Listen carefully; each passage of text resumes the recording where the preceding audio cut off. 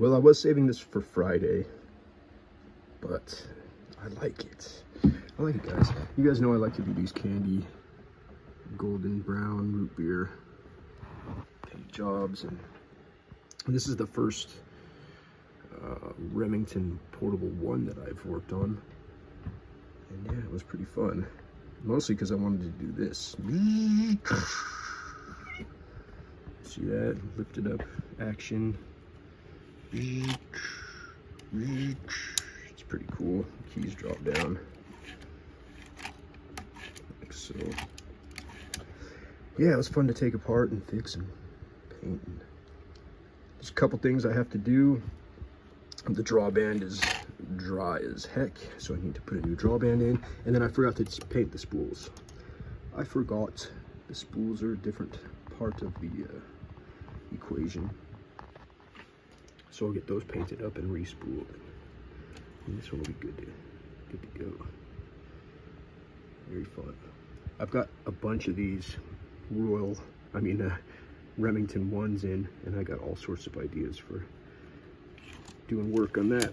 But if anybody has a request, or they're interested in picking one of these up themselves, uh, let me know. They're really cool machines. They've got this uh, carriage lock that pulls out on that side. And then on this side, you have your everything section. It's got the carriage release lever, and then directly behind it, there's a carriage lock.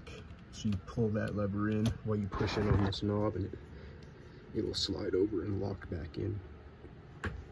But these things are fun little typewriters, guys. They type great, light, snappy,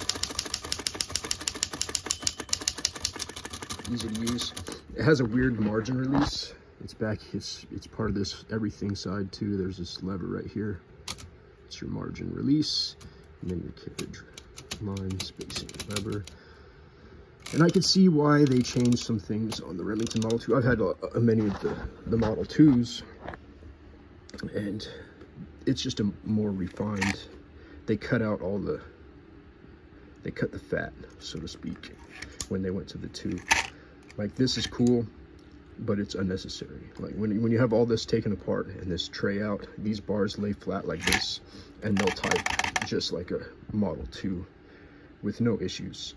This is a little bit more snappier, I feel, because the, the reach is shorter. So they were trying to like get you the, the best type feel you can get with the, the angle. And I do like this feel. But there's nothing wrong with the two. It's just as snappy. It just has a little bit longer of a key travel. Look at the keys go up and down too. Man, it's just a cool typewriter. Who think who thought of this? It was like, let's do this. Apple wouldn't even do this.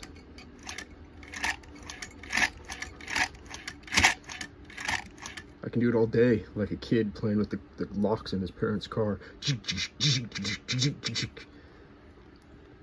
Damn it, Jim. Quit playing with the locks on the door. You're going to break the door. You're going to break the window. There's even a line around here. I did some lines in there.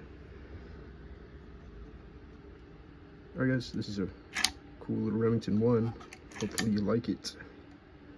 Hopefully I can get to you. I, I got a bunch of these cases in, the Remington cases to, to go with it, and I got all new handles. So I'm going to be doing a batch of these Remingtons like I did the batch of the, the Royal P's. And they're all going to have good cases and, and brand new handles that I ordered from the leather shop. So let me know what you want, what you need. We got it for you. All right, everybody. Have a good weekend.